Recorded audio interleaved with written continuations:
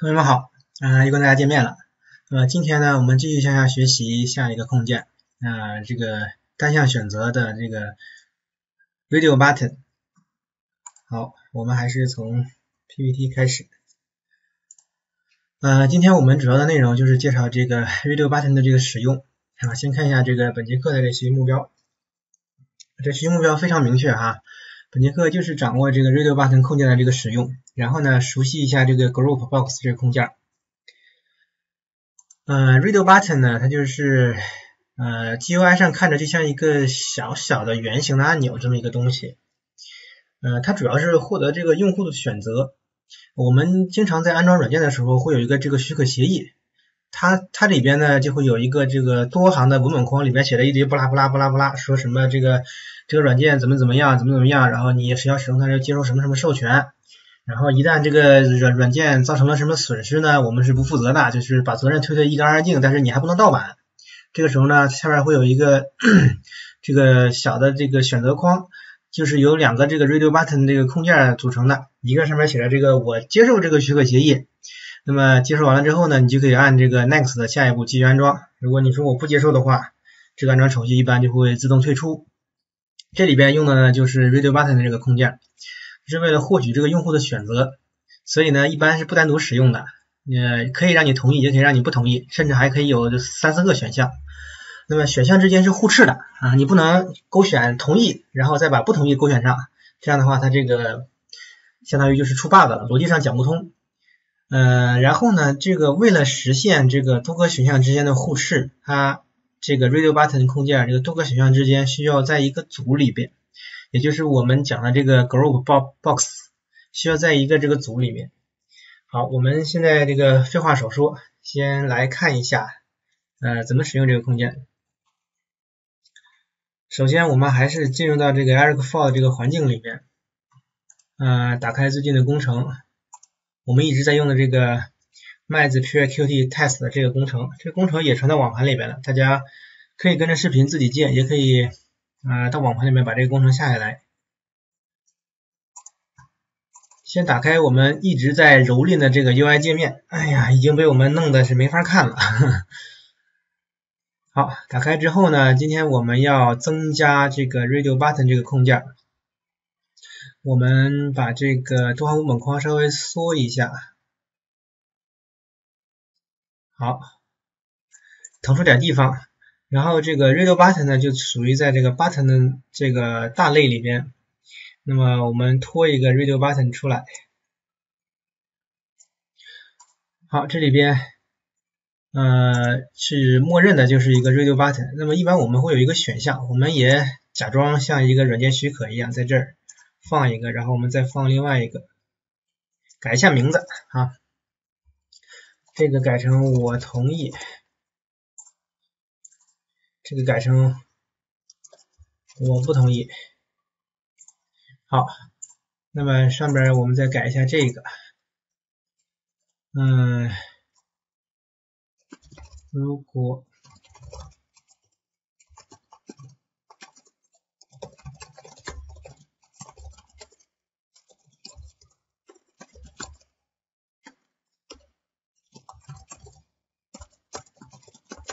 好扯个蛋哈，说如果要继续学习本课程，请点击同意，否则点击不同意。把这个文本框的内容改一下，然后我们先生成一下这个 UI 文件，看一眼是个什么情况。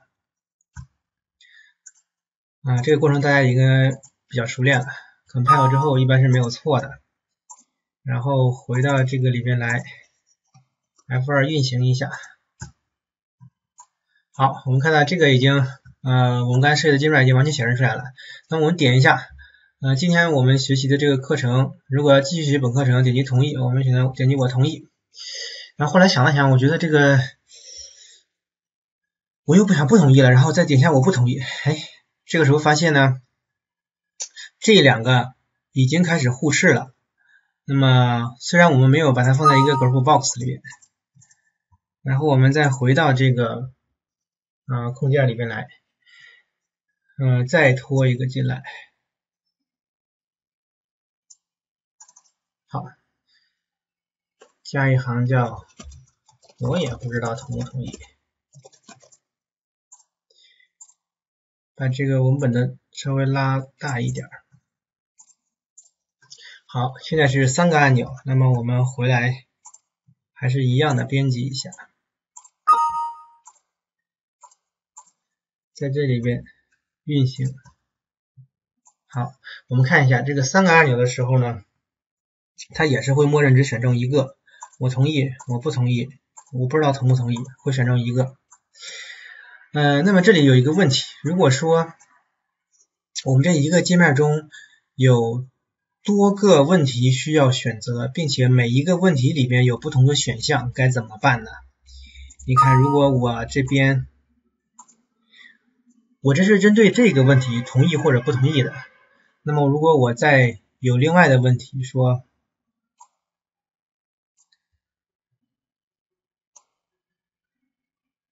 说今晚吃什么，那就吃中餐。还有另外一个选择就是吃。西餐，好，还是编译这个界面，我们迅速的编译一下，看看它这个什么反应。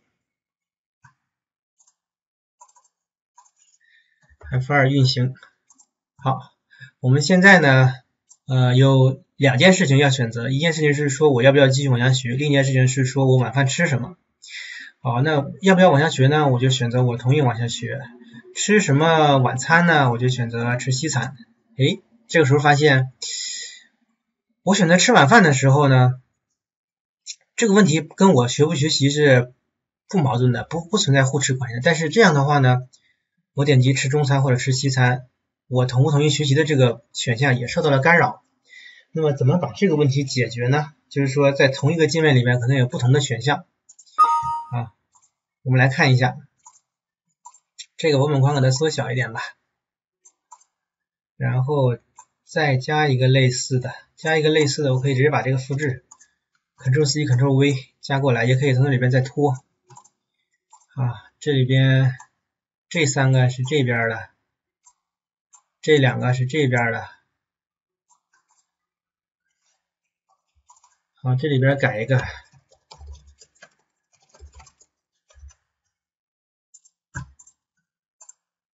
这里边也修改一下。今天我们学习 video Button。好的，我们的目的呢是让这两边的选择呢不产生矛盾，所以这个时候呢就需要加入我们提到的这个另外一个控件叫 Group Box。啊，这个空件呢它的作用就是在本本例中它的作用是把这个不同的选项给它分组。那么互斥呢，只在组内互斥，在组间它是毫无干扰的并列的关系。我们把这个拖到这个上面来，好，把这个整个 grow box 啊，sorry，整个的 grow box 给它放在这个下面。好的，我们再拖一个给这边。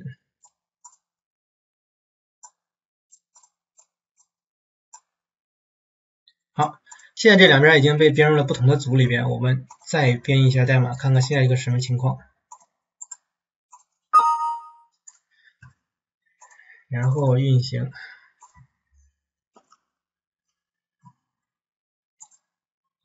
好，那么第一个问题，我们今天学习 Radio Button，要不要愿意学，要不要继续往下学呢？我选择我也不知道。然后这边晚上吃什么？这个时候你老婆突然问你晚上吃什么？晚上吃不了你说，哎呀，今天学习这么累，带他去吃顿西餐吧。哎，这个时候发现不会互斥了。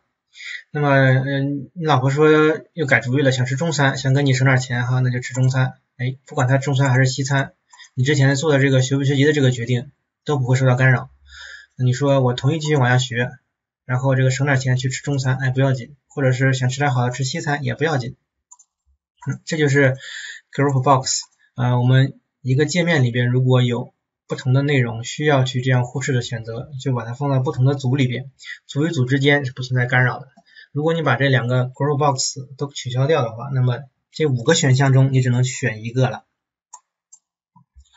好，那么这个 Group Box 这个例子讲完，嗯，我们接下来看一下这个我们做了选择之后，我们怎么知道我们选了哪一个？那同样的，我们要给这个呃结合槽函数来实现，在 UI 上肯定是做不到的。那我们看一下这个，呃，Radio Button 它支持什么类型的信号？好，这里边看第一个 on Radio Button 点 Click 信号，那么这就是说，当这个 Radio Button 被选中的时候，这个信号就发射出来。我们把这个信号选中。啊，余下的几个全部都选中。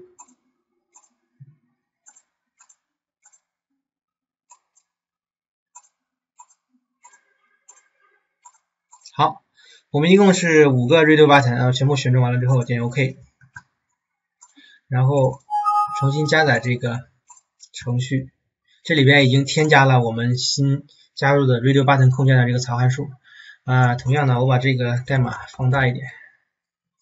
然后呢，还是同样的问题，这一个我们这一句要把它剪切下来放到最后。好，我这里操作快一点。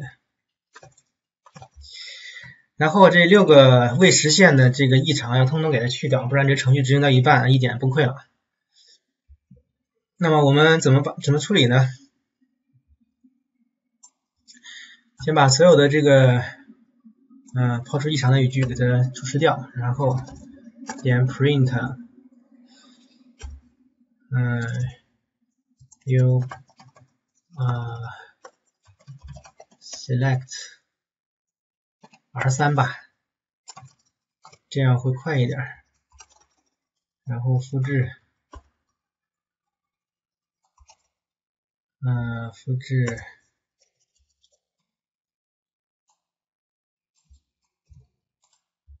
复制粘贴，这个是，嗯，R 一的槽函数，所以我们就按照这个修改，以此类推，把下面这个抛出异常的通通都改掉。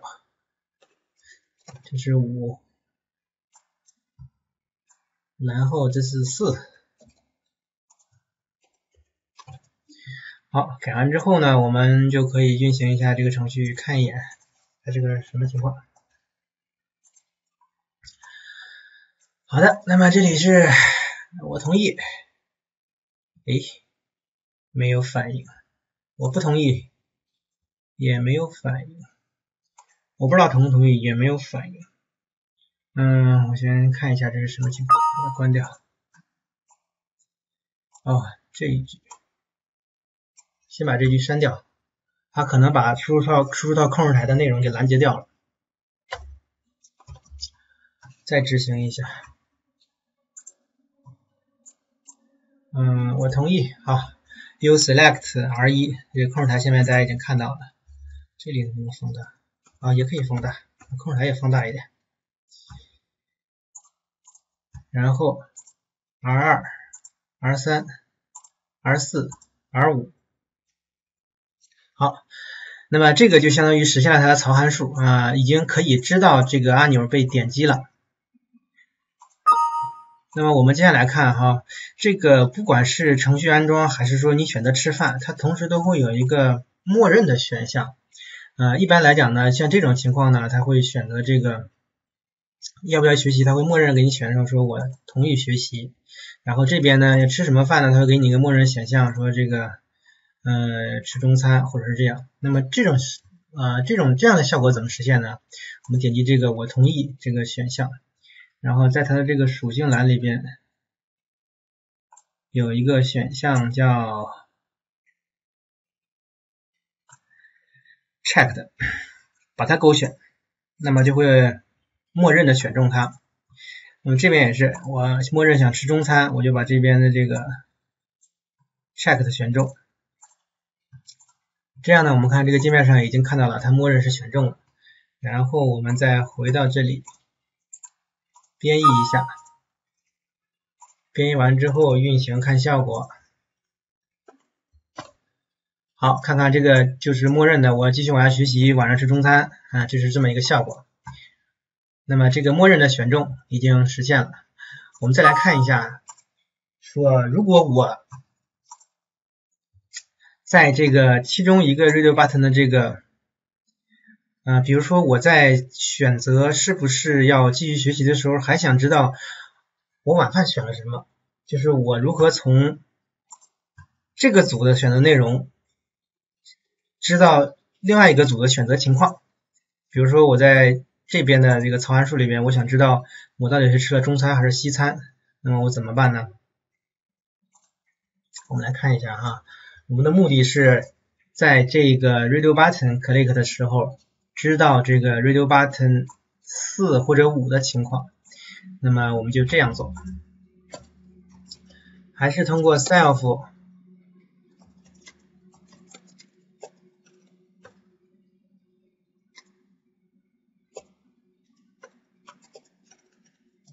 self radio button 四找到这个控件，然后检查它是否被按下，那么有一个。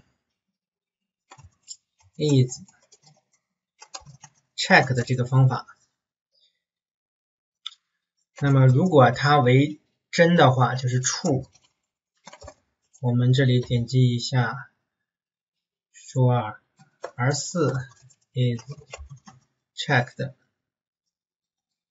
那么如果它没被按下，而是这个五被按下了呢？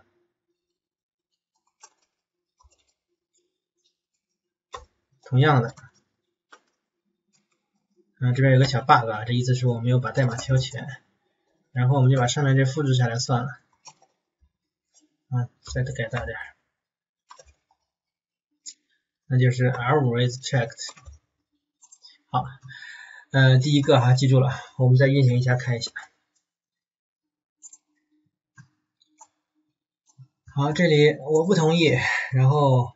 我同意，好，我同意的时候，这边说你选择了 R 一，然后同时 R 四 is checked，这就是 R 四，就是吃中餐。那么这样变变成吃西餐的时候，我不同意，然后我同意，OK，R 五 is checked。好，那么这个也实现了。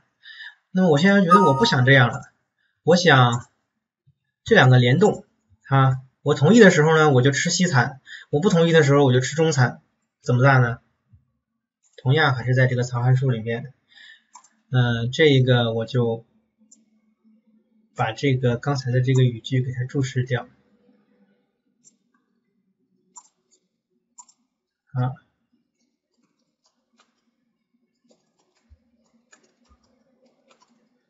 把这四行注释掉，说如果我按了 R 一之后，这个我就把 R 五选中，那么同样的。